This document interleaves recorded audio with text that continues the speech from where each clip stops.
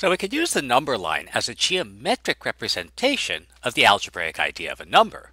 How about for the geometric representation of the algebraic idea of an inequality?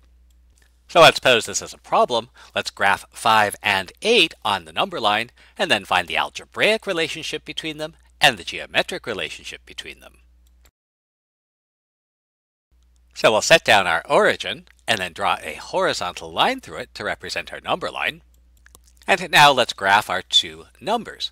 Since both 5 and 8 are positive, both of them are to the right of the origin. But remember, the number corresponds to the distance from the origin, and 8 is going to be farther to the right than 5.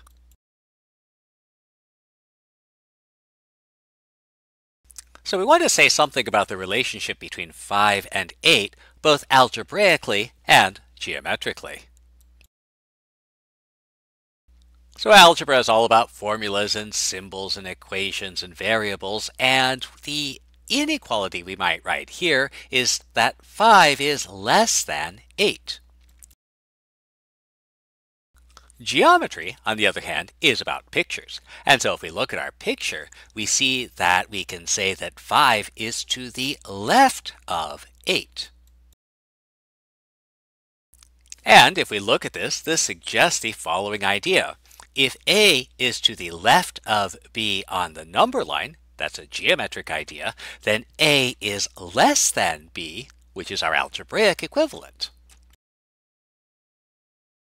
Alternatively, we can look at it from the other direction. If B is to the right of A on the number line, then B is greater than A.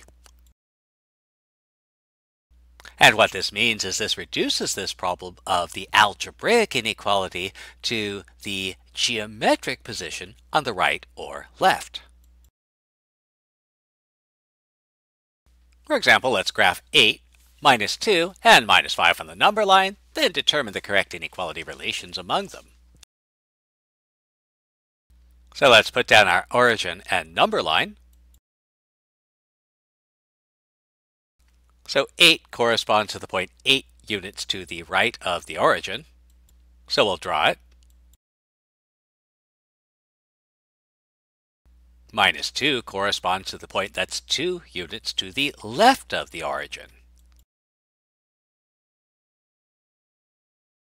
And finally, minus 5 corresponds to the point 5 units to the left of the origin.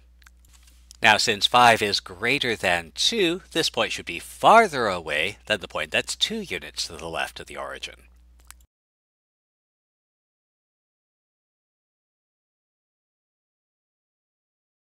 So it's helpful to remember what the connection is between the algebra and the geometry.